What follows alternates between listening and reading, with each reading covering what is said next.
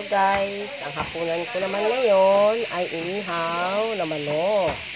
Nag-ihaw ako ng manok guys. Yan ang aking hapunan. Kunting asin lang. Walang masyadong maraming mga mga ano dyan, mga spices na kung ano-ano. Yung asin lang, asin, asin lang. Okay na siya. Yes guys, ito yung aking hapunan today, tonight. Dinner ko na yan. Tulad ako ng paa. Paa ng manok. Aadobohin natin yan. Titimplahan ko pa lang toyo at saka kaunting magic sarap.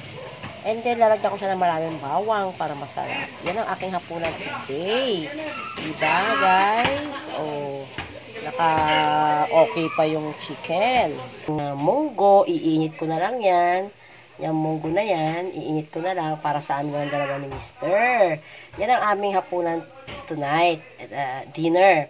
No rice pa rin kami. Still, uh, pinaglalabanan yung temptation ng rice. But, uh, thanks God, nakaka, ano kami, nakaka, uh, lusot kami sa temptation ng rice. Okay, guys?